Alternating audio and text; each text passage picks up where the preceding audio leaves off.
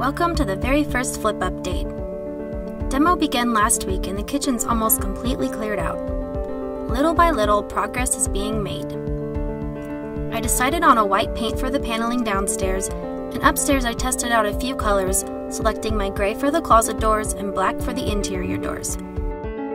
Downstairs, the fireplace got a big makeover, and today I'm going to show you what I learned about removing paint from brick, installing a floating mantel, and applying a mortar wash technique to your fireplace.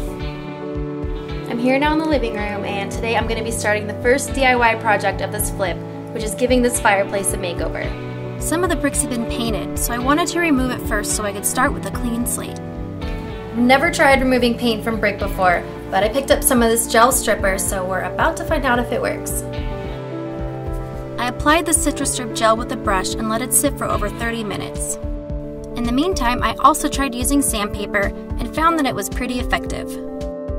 Once the stripper dried, I tried scrubbing it off with an abrasive pad and wire brush, but it didn't completely remove the paint. And it didn't work at all on some of the bricks. Sanding seemed to be the best option, but it's time consuming and you'll go through the paper very fast. Since I'd been mortaring over most of the brick, it didn't matter if there was a little paint left over, so I was ready for the next phase. I picked up some reclaimed wood at the local lumber yard and had contractors help with installation. After getting the two vertical beams into place, they drilled four holes into the brick, inserted steel rods, and set them with masonry adhesive. The rods were then cut down and left to dry overnight. The next day, holes were drilled in the back of the mantel and construction glue applied before securely sliding it into place. The mantel done, it was time to prep the fireplace for the mortar wash treatment. For this project, you'll need a bag of white mortar, a bucket, and various sponges, rags, and tools to scrub the mortar off the bricks. Working in batches, you'll mix your mortar with water until it thickens, then apply it with a stiff sponge. One tip I realized later is that it's best to focus on the joints and not cover the entire brick, because it's difficult to remove it all afterwards. Before the mortar is fully dry, use a clean wet sponge and a wire brush to expose some of the brick underneath, keeping in mind that the brick will dry much lighter than it looks wet.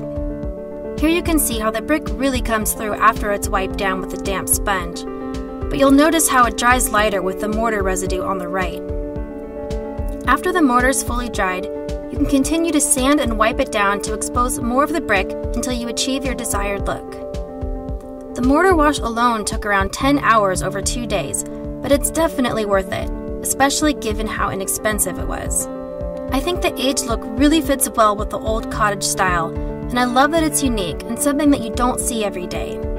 If you enjoyed this first DIY project, you can head to my blog for more details, and make sure to subscribe to my channel for another tutorial in next week's episode.